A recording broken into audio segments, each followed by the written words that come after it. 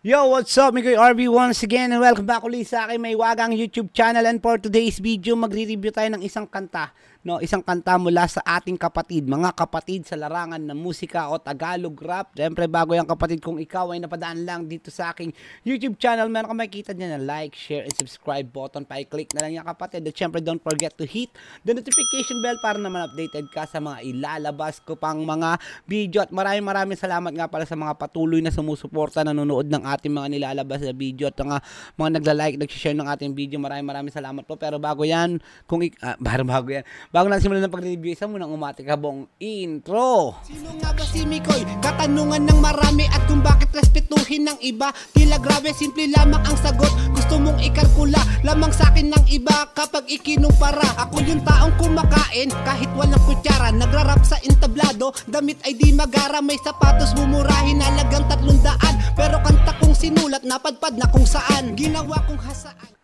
Ang susunod, ang kantang ating i-review at ibigay natin na reaction at comment on title nito kapatid, Dahilan. Ba, nangangamoy labsungan, may nakita ko rosas dito. So, syempre, ang kumanta nito si kapatid na Arshad, no? Arshad, featuring ano to, JC Melodia. Ah, JC Melodia. Ba, Melodia, nagme-Melodia. So, I think ito, si, ito ang magko-chorus, no? Kasi Melodia. So, wala naman tayong ibang hinihintay. Labsungan to, official audio. So, wala naman tayong ibang hinihintay. Huwag natin patagalin. I-play na natin yan.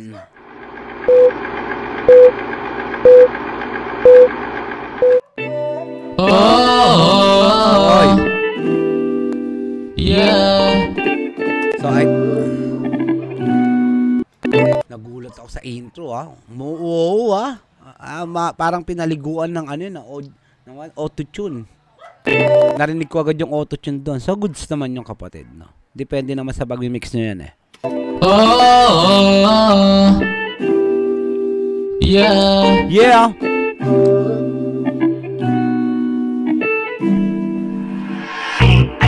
Oy, teka lang, oh, may gusto lang akong itanong Ano ba yan? Ang iyong binubulong Oh, hindi ko talaga alam yeah. Kung ano ang iyong dahilan So, magbibigay lang ako ng konting komento dito kapatid. Oh. So, kasi nga, pinareview na to. So, meaning to say, hini, hinihintay nyo kung anong magiging komento ko sa kanta. Sa sulatan, given, may meron kayong sulatan, nakita ko na naramdaman ko na agad yung sulatan nyo dito. Okay? Masya, sa pag-mix, ewan ko kung saan yung minix to. So, I think baka Banlab or sa cellphone lang minix to. Kung di ako nagkakamala. Ngayon, kung mali man ako kapatid, pasensya na. Yung ayun lang yung sa pandinig ko, no? Masyadong malakas yung vocal na sa pawan yung beat, no? Dapat once na mag-remix tayo, pantay yung beat at vocals. Wag, no? Kasi pag nangibabaw naman yung beat, hindi na marinig yung vocals. Pag nangibabaw naman yung volume ng vocals, hindi na marinig yung beat. Ang nangyayari dito, masyadong nangibabaw yung vocals, no? Hindi siya pantay. So, sa autotune, no? Problem naman tayo doon, no? Marami, marami na rin naman gumagamit ng autotune. Kaso nga lang, masyadong umapaw yung autotune nito. Yun lang yun. Yun lang yun. So, pasensya na kapatid kung yun yung komento ko dito. Pero, all in all, di ba? Pakinggan natin. All in all, eh, sa sulatan, eh, masasabi ko naman given na may sulatan kayo. So, ito pa. Pakinggan natin. May nasilip pa akong isa. eh. Pasensya na kapatid, ha? Kasi para sa inyo rin naman to para next time na maglalabas kayo ng mga any time any kind of type of ano rap song, 'di ba? Kung ano man genre ilalabas nyo, eh alam niyo na kung ano susunod yung i-improve, 'di ba? Oh, Yeah. Actually, maganda yung beat nito. yeah. Yeah. Shoutout nga pala dyan sa 3 Kings Official Channel. Subscribe niyo yung kapatid. 3 Kings Official Channel. Oy, teka lang, Teka oh, lang, may gusto oh. lang akong itanong Yeah. Ano ba yan? Ang iyong binubulong Oh, hindi ko talaga alam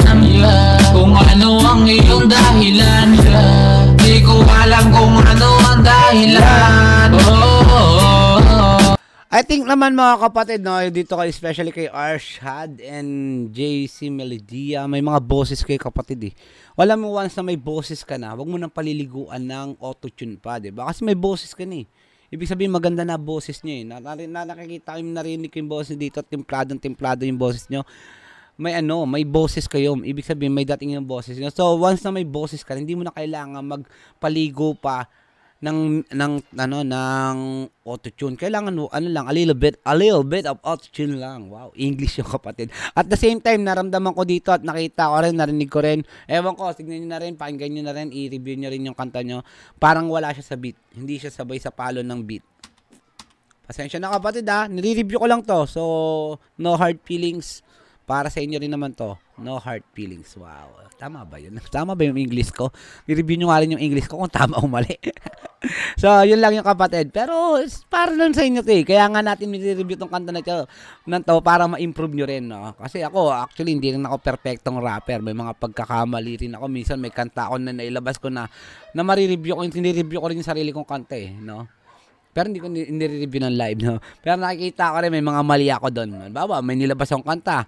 May nakita akong mali. So, yun yung, ano, pinapakinggan ko yun, uy, mali pala ako dito. So, i-improve ko to. Kailangan next time di ko nagagawin to. Ganun lang yung kapatid. Hoy, teka lang, Teka oh, lang, gusto oh. lang akong itanong Ano ba yan? Ang iyong binubulong Oh, hindi ko talaga alam Yeah. Kung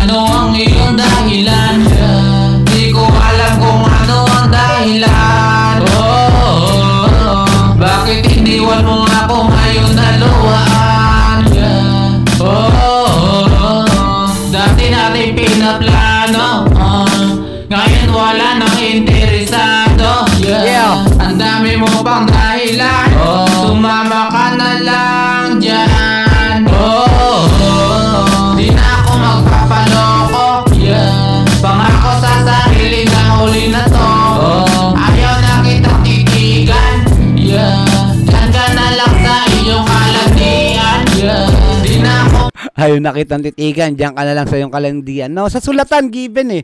Sa sulatan given na kapatid, may sulatan kayo. Yan, may sulatan na kayo. Ibig sabihin nun, marunong na kayo magsulat. No, ibig sabihin. Ang kulang na lang, ipapantay nyo sa beat. At the same time, pag minix nyo, kailangan, di ba, kailangan, comment down below nga kapatid sa inyo to minix. Pasensya na kung sino man nagmix ito. Pasensya na kapatid, no. Improve mo yon improve mo yon masyadong matakaw sa auto-tune tong mix niya nito. Tapos at the same time, may volume na volume talaga. Ang lakas ng, auto, ang lakas ng vocals, no. Timplay natin yan. No, timplay natin. So, goods, kapatid. Tuloy! Ayaw na kitang titigan Yeah Yan ka na lang sa iyong kalandian Yeah Di na ako magpapaloko Yeah Pangako sa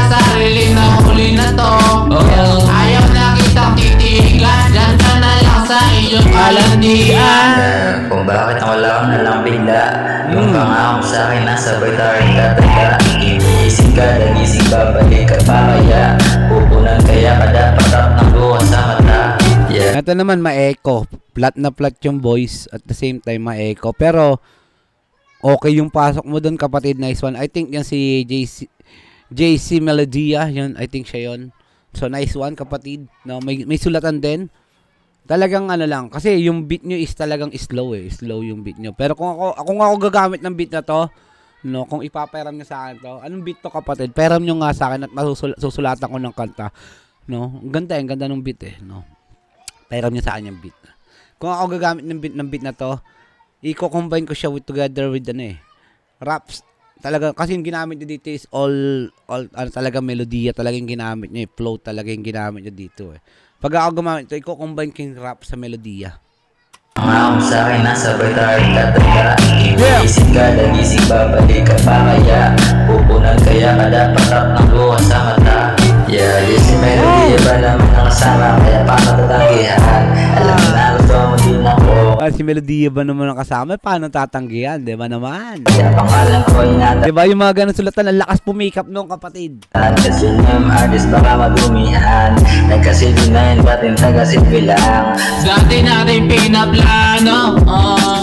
Ngayon wala nang interesa Ito si Harshad, kung di ako nagkakamali, no? Do, yeah. Ang dami mo pang dahilan Sumama ka na lang dyan oh. Di na ako magpapaloko Pangako sa sarili na huli na to Yeah. Ayaw na kitang titigan Yeah. Diyan ka na lang sa iyong kalandian That's Yeah. right. Dati natin pinaplano oh.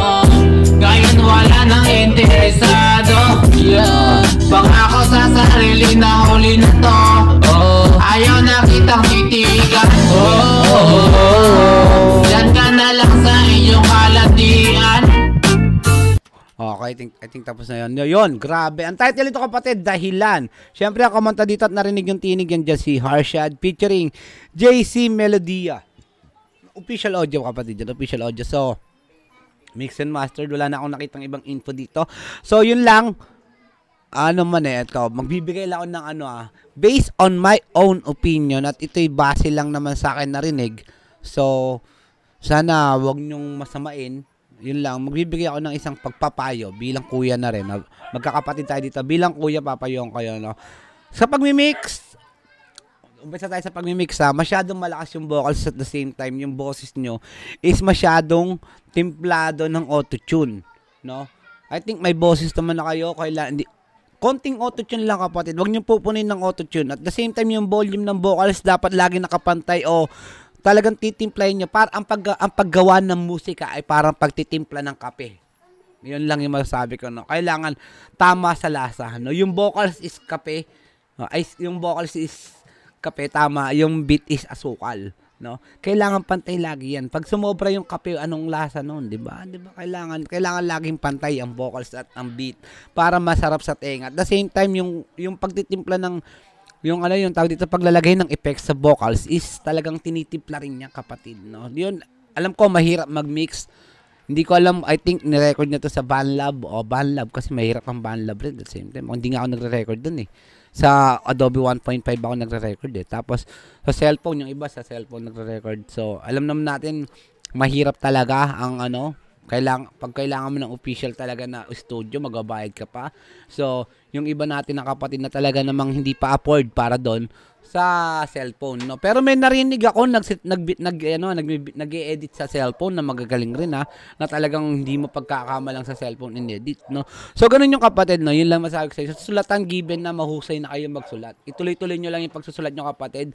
Kung ano man yung dapat i-improve, i-improve nyo. Ngayon, pasensya na kung magalit man kayo sa akin, pero yun yung komento ko dito. Pero, para sa inyo yung kapatid, hindi yung para sa akin. Yung payo ko is not para, uh, is not for me, it's just for you. Wow, English! So, maraming maraming salamat dyan. Sa mga sumusuporta, ingat palagi. Peace out!